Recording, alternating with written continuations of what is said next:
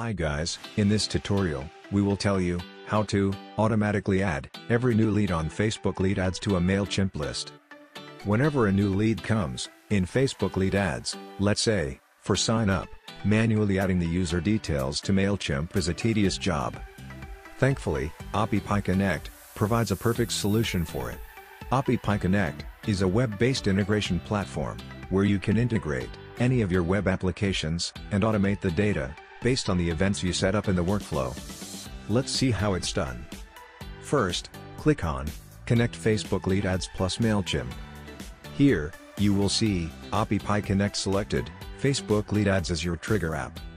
Now, the system will show you the available triggers for Facebook Lead Ads. Here, select New Lead as your trigger event and click on Continue. Then, connect to your Facebook Lead Ads account. We use bank level encryption to keep your account information safe and secure. We don't take chances with your data. Once an account is added and tested, click on Continue. Now, select the page name AppyPie Connect needs to monitor. You have to select an option from the list menu. Once selected, choose the form name. Again, select from the dropdown.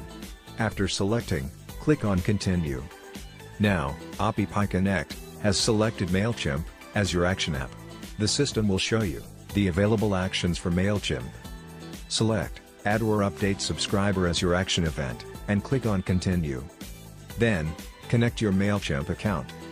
This gives AppyPie Connect permission to add or update a new subscriber in MailChimp. Once an account is added and tested, click on Continue. Now, under the List section, select the desired list, to which AppyPie Connect needs to add or update a new subscriber. Then, under Subscriber Email section, click the plus icon to see data from Facebook lead ads. Select the appropriate data you want AppyPie Connect to show on your list. In the similar way, provide data to the fields which you want AppyPie Connect to show for you in MailChimp. After providing the desired mapping, select Continue.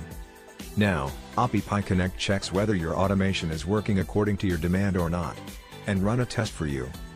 Once the test is successful and enabled, check out MailChimp. That's all from today's session, thank you for watching.